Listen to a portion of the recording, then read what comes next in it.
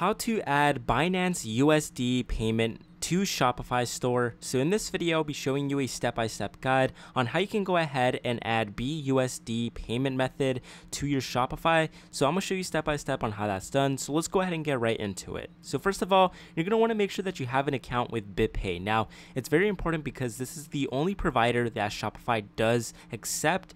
So just make sure that you actually have an account with them or create one. So once you do that, you're now gonna wanna proceed back to the Shopify dashboard and in the dashboard, click the little settings page at the bottom left hand corner. Once you do that, you will be brought to the store settings. Go to the fifth option, which is payments.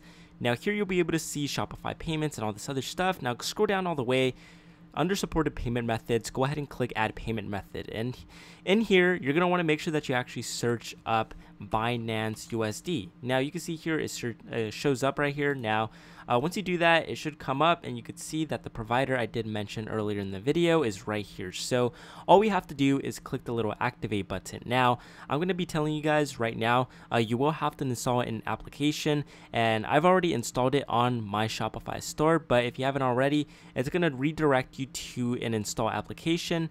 And then once you go ahead and install it, it'll go ahead and redirect you to the login page. So um, go ahead and click activate. And pardon me, I just, you know, um, I talk very long periods of time, but you can see here we're not connected. So we'll go ahead and click connect right here.